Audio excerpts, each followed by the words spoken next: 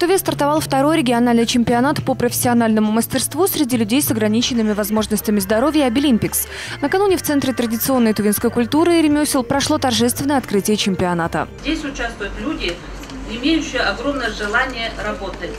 Поэтому хочется поблагодарить участников за то, что вы приняли наше приглашение.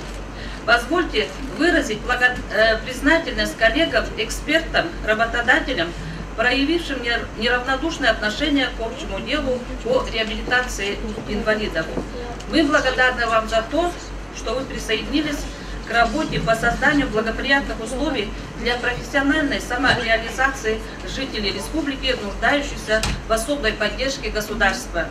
Свои навыки участники регионального этапа чемпионата будут демонстрировать по шести направлениям – портной, поварское дело, ремонт обуви, сухое строительство и штукатурные работы, веб-дизайн и медицинский, а также социальный уход. В этом году количество участников составило более 30 человек, что вдвое больше по сравнению с прошлым чемпионатом.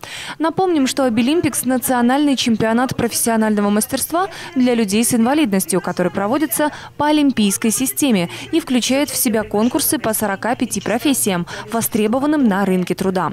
Победители регионального чемпионата будут представлять Туву на третьем национальном чемпионате профессионального мастерства «Обилимпикс-2017» в Москве.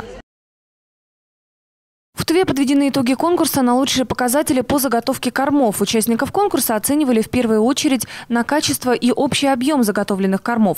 Далее уже количество вывезенных кормов на места хранения не менее 90%.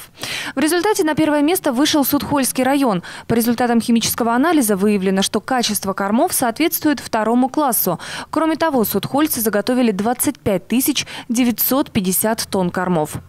Таким образом, Судхоль признается лучшим районом Тувы в кормозаготовительной компании и получает главный приз конкурса «Трактор».